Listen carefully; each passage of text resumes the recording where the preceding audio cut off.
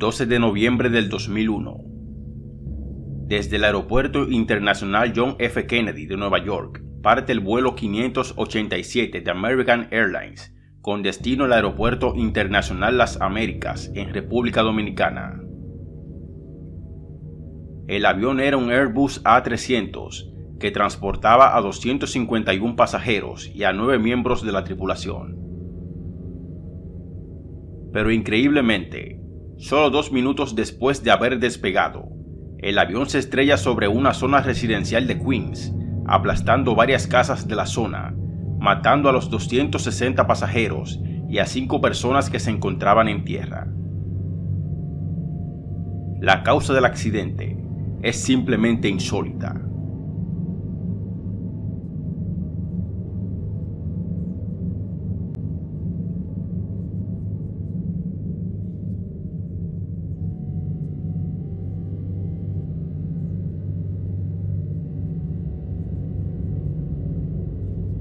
La tripulación del vuelo 587 se preparaba para un vuelo de tres horas y media hacia Santo Domingo, República Dominicana.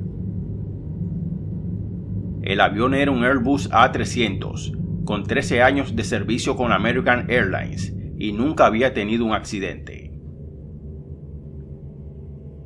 A las 9 y 11 de la mañana, el vuelo 587 estaba en el punto de espera de la pista de despegue antes que ellos, despegaba un Boeing 747 de Japan Airlines y 30 segundos después de que éste despegara, le advierten al vuelo 587 de que sufrirían una turbulencia de estela, ya que el 747 de Japan Airlines estaría a 8 kilómetros de distancia de ellos cuando estuvieran en el aire. A las 9 y 14, el vuelo 587 por fin abandona la pista de aterrizaje rumbo a su destino. A las 9.15, un minuto después de despegar, el vuelo se encuentra con una turbulencia dejada por el 747 japonés y como se le había enseñado en los entrenamientos, el copiloto comienza a presionar los pedales que controlan el timón direccional del avión para salir de la turbulencia.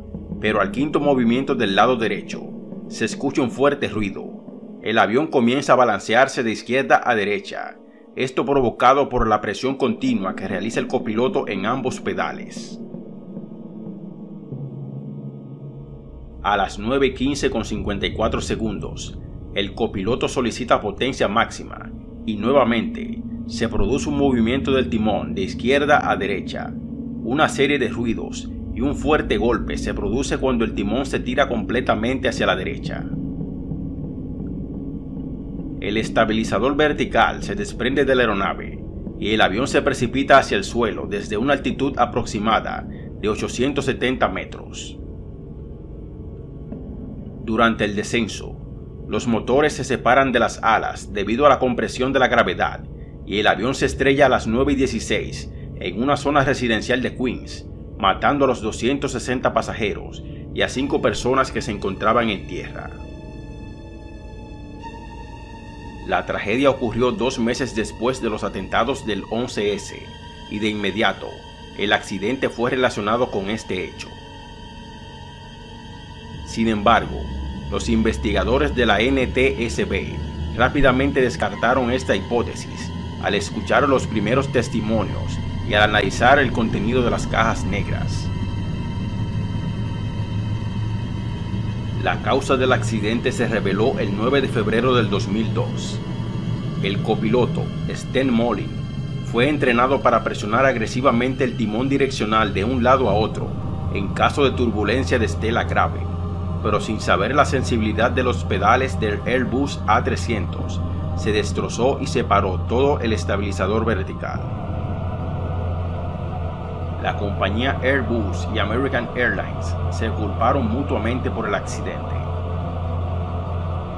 Para American Airlines, Airbus era responsable porque los pedales utilizados para operar el timón eran muy sensibles, poco resistentes al esfuerzo y por lo tanto, el piloto no podía saber que estaba excediendo los límites aerodinámicos.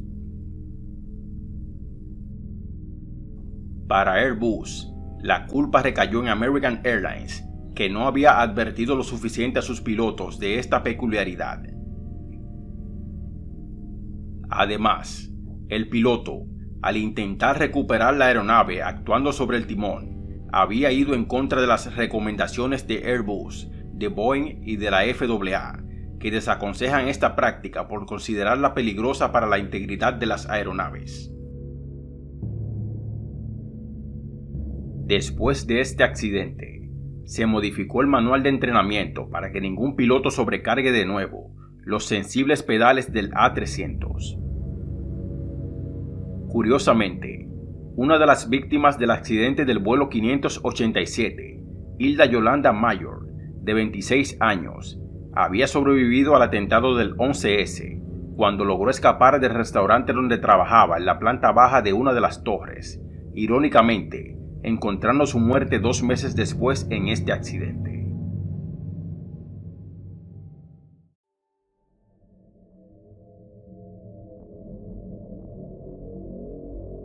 El 25 de mayo de 1979, un McDonnell Douglas DC-10 que operaba el vuelo 191 de American Airlines despega desde el Aeropuerto Internacional de O'Hare en Chicago con destino al Aeropuerto Internacional de Los Ángeles. El avión transportaba a 253 pasajeros y a 13 miembros de la tripulación.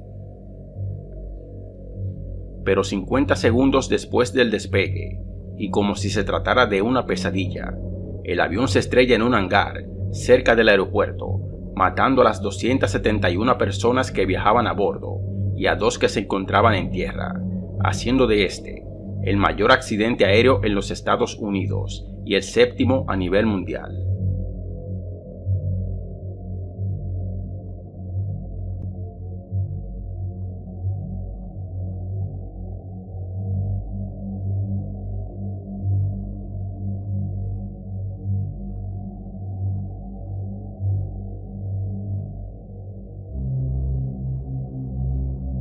A las 12 del día, el piloto de American Airlines, Walter Lux, estaba por terminar su turno después de cubrir un viaje de Phoenix a Chicago. Es entonces que otro piloto de la misma aerolínea se le acerca y le pide que cambie el turno y se encargue del vuelo 191, debido a que él tenía que asistir a una reunión familiar. Ese día era el día en memoria de los caídos y Walter quería pasar las vacaciones con su hijo en la casa de campo que tenían en las afueras de la ciudad. Walter lo piensa y acepta, pero no tiene tiempo para avisarle a su hijo del cambio de planes.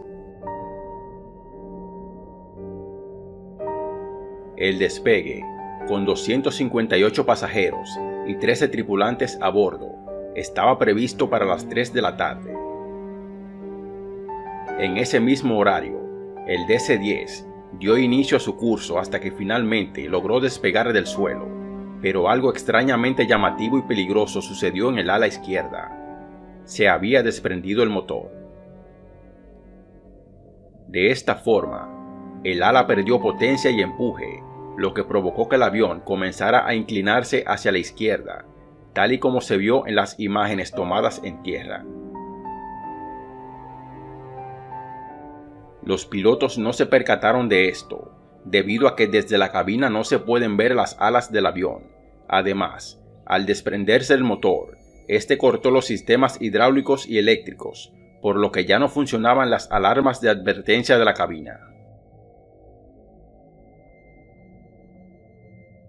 La aeronave consiguió elevarse a unos 100 metros del suelo y tuvo una trayectoria de 1500 metros desde la pista 32 noroeste, pero tan solo duró 50 segundos en el aire y acabó estrellándose contra un hangar en la parte trasera del aeropuerto. Todos los pasajeros y tripulantes murieron, como también dos personas que estaban en tierra. Lo sucedido con el vuelo 191 conmovió al mundo entero y encendió las alarmas sobre el modelo de la nave, el DC-10, que casualmente no era la primera vez que fallaba. La compañía que lo fabricaba era la norteamericana McDonnell Douglas y ya había estado bajo la lupa en otras dos ocasiones por errores en el diseño de las puertas. Después de una larga investigación, la Junta Nacional de Seguridad del Transporte llegó a la conclusión de que la estructura de los anclajes del ala izquierda estaban dañados debido a que el personal del mantenimiento de American Airlines, por ahorrar tiempo y dinero, había modificado el procedimiento para desmontar y montar los motores. Desde la posición de la cabina, los pilotos no podían ver el ala izquierda, y aunque hubieran tenido la posibilidad de verla, no había posibilidad de controlar el avión y salvar sus vidas. Cuando el motor se desprendió, este cortó los sistemas hidráulicos y los sistemas eléctricos que estaban en el ala izquierda. Como resultado, perdieron los instrumentos de vuelo y los sistemas de advertencia e información en la cabina ya no estaban funcionando. En ese momento, se prohibieron las operaciones de todos los DC-10 que quedaron almacenados por un mes en los hangares de todos los aeropuertos del mundo. Para ese entonces, se habían fabricado 280 unidades del modelo, que volaban en una gran cantidad de países. Después de un mes y rigurosas inspecciones, los DC-10 volvieron a los aires. El accidente del vuelo 191 fue tan brutal que no se pudo recuperar ni un solo cuerpo completo en una pieza, y tardaron meses en poder completar los restos y entregarlos a sus familiares.